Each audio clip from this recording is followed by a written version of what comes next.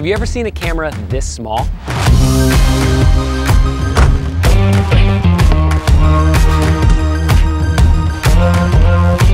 This is Insta360 Go, the world's smallest stabilized camera. Wear Go on a cap, a sweatband. This little guy is versatile, easy to use, and shoots epic POV content.